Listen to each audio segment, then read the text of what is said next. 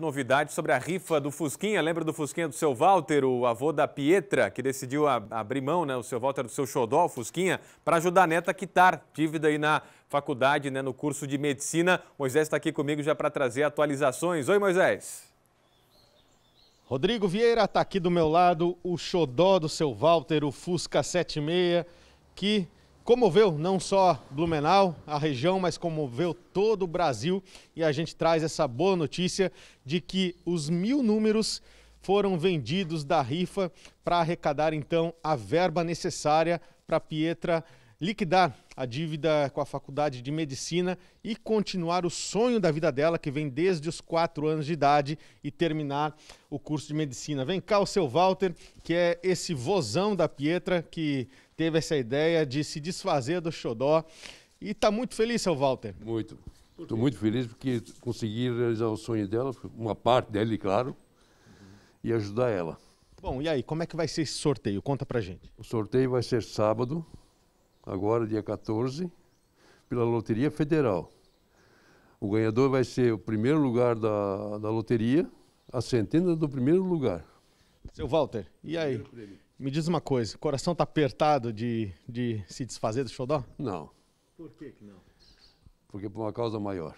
A Pietra é mais xodó do que o Fusca? Muito mais. Ah, bacana, seu Walter, parabéns né, pela iniciativa. E é bom a gente saber, Rodrigo, que então o pessoal se comoveu, conseguiu então vender os mil números e a questão da universidade vai ser liquidada e a Petra vai poder cursar é, medicina com mais tranquilidade. O seu Walter também, um vozão, um vô, um pai ao mesmo tempo, porque ela mora desde quando nasceu aqui na casa do seu Walter. E um dado interessante que eu estava conversando com ele, Rodrigo, sabe por que, que a Pietra decidiu então fazer o curso de medicina? O seu Walter vai contar aqui para a gente por que, que ela escolheu esse curso. Por causa de uma novela. Era a novela Deixa eu ajudar o seu Walter. Novela Prova de Amor da Record, a terceira novela exibida pela Record em 2005. A Pietra tinha quatro anos de idade e disse que nessa novela tinha uma médica muito boa que ajudava as pessoas e desde lá então a Pietra quer realizar esse sonho de fazer medicina. Seu Walter, parabéns, muito obrigado. E claro, né, Rodrigo, a gente aqui no jornalismo, a gente realiza sonho também. E eu vou realizar um sonho, porque eu já dirigi uma Kombi, meu sonho sempre foi dirigir um Fusca, o seu Walter deixou, então eu não vou perder essa oportunidade e vou para dentro do Fusca, porque com certeza eu tô ansioso por esse momento desde que eu vi esse Fusca 76. Vamos lá então, Vinícius Bretsky, tchau para você. Tchau, Rodrigo, fica aí com o balanço geral, que eu vou me divertir um pouquinho dando uma volta nesse Fuscaço 76. Tá inteiro, hein? O ganhador dessa rifa, com certeza, vai se dar muito bem.